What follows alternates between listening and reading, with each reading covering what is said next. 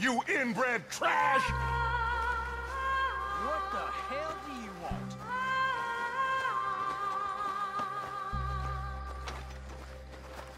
Easy, John. We've come for the boy. You must have known we would. Shouldn't have messed with our business now, should you?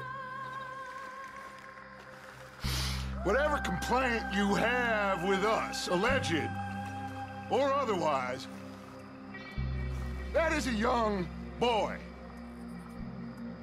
That is not the way you do things. Hand him over. Get the hell off our land!